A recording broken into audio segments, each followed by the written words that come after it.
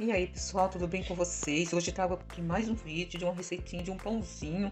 Ele é feito assim, na forma de, de bolo. Então fica muito macio, muito saboroso esse pãozinho, viu pessoal? Então, primeiramente a gente vai começar, eu vou estar tá usando um ovo. Vamos mexer bem esse ovo.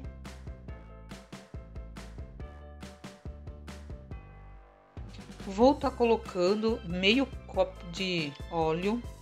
Esse copo que eu estou usando é um americano de 150 ml. Vamos mexer bem.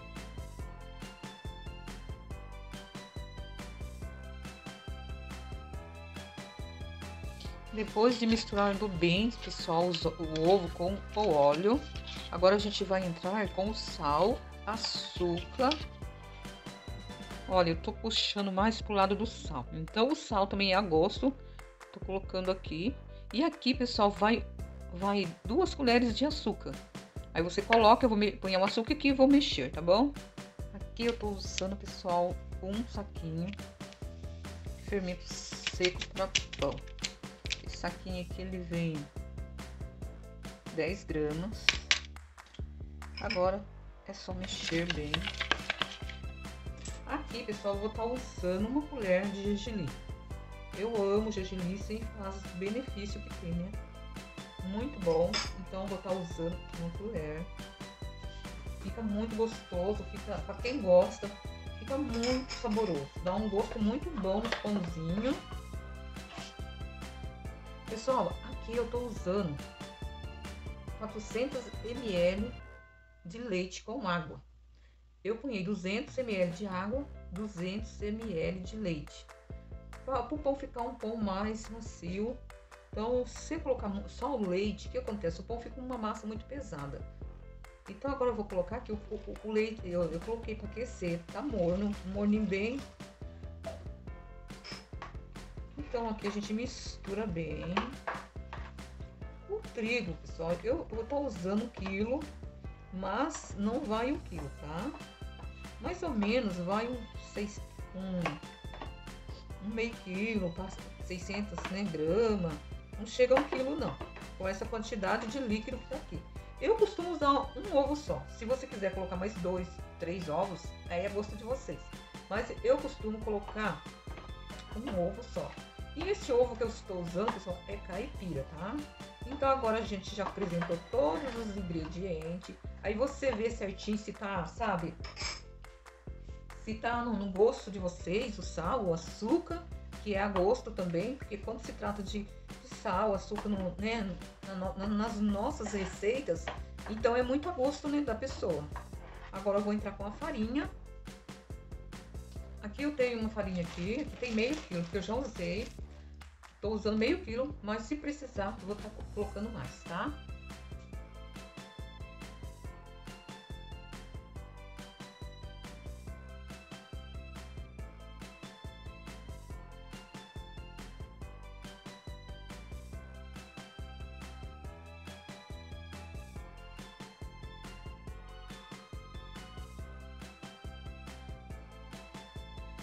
Aqui, pessoal, tô usando uma colher de margarina, porque a margarina deixa um sabor muito bom na massa.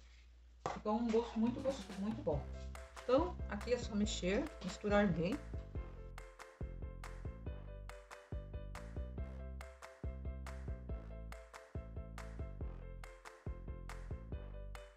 E ó, a gente já vai estar tá colocando as mãos pra gente estar tá sovando essa massa.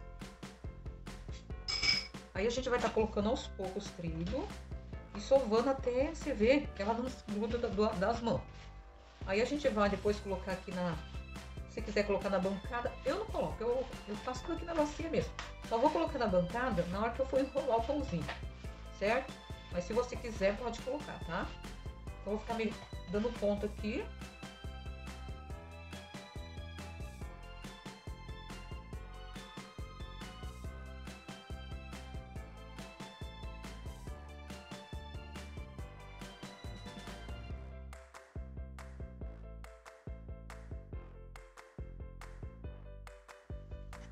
Ó, agora eu já sovei.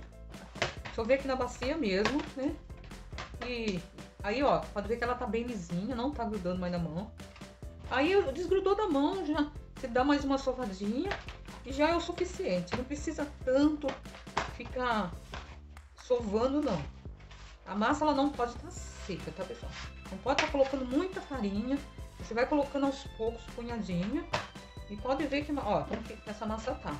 Ela tá bem bonita, ó. O que, que eu vou fazer agora?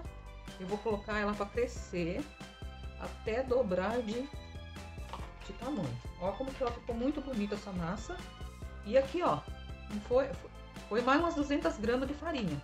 Então, total, umas 700.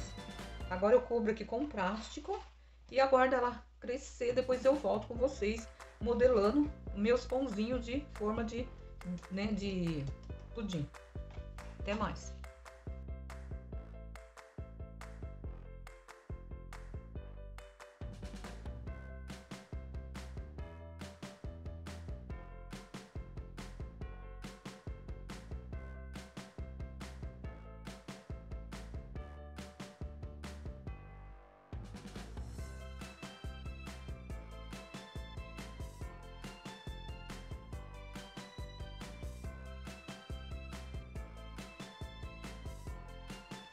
Olha, pessoal, como ficou o pão depois de crescido. Ele cresceu bastante, depois de meia hora. Agora eu vou levar ele para assar.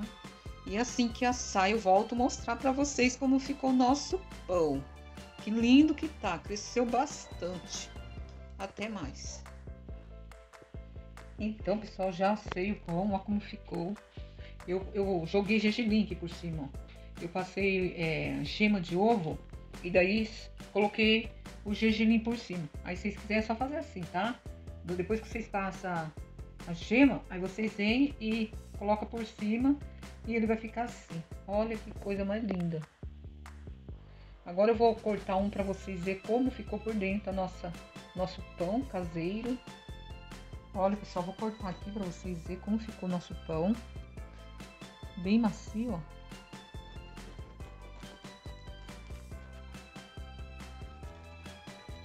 Ó.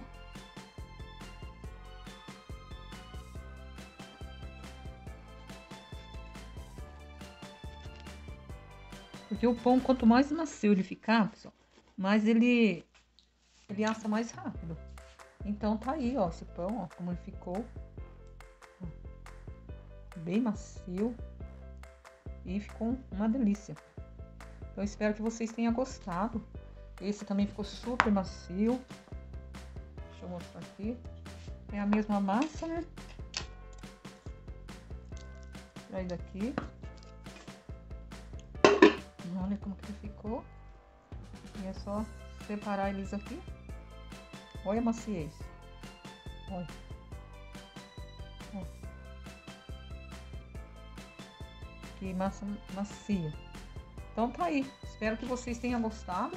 E se gostou, não esqueça de deixar um joinha. Tchau, até mais com novos vídeos. Tchau.